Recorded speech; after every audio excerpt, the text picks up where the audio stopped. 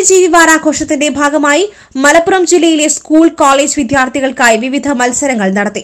സമാപന സമ്മേളനം നഗരസഭാ കൌൺസിലർ ജുമാല ജലീൽ ഉദ്ഘാടനം ചെയ്തു. വിവിധ മത്സരങ്ങളിൽ വിജയികളായ വിദ്യാർത്ഥികൾക്കുള്ള സർട്ടിഫിക്കറ്റും ക്യാഷ് അവാർഡും നഗരസഭാ കൌൺസിലർ വിതരണം ചെയ്തു. ഓരോ വർഷവും ഞാൻ ഈ ഒരു പരിപാടികൾ സംഘടിപ്പിക്കുന്നുണ്ട്. പക്ഷെ അതൊരു അല്ലെങ്കിൽ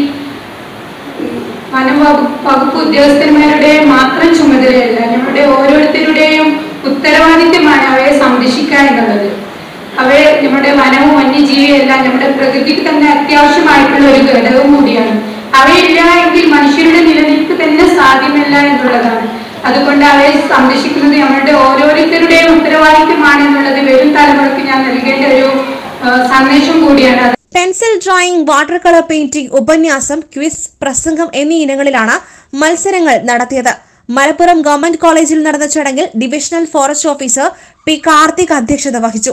Social forestry deputy forest conservator Muhammad Zainul Abideen Kozhikode division assistant conservator of forest A P Imthiyas social forestry range forest officer P S Muhammad Nishad Malappuram government college principal doctor Geetha Nambiar N programme officer doctor S Hasanath തുടങ്ങിയവർ പ്രസംഗിച്ചു.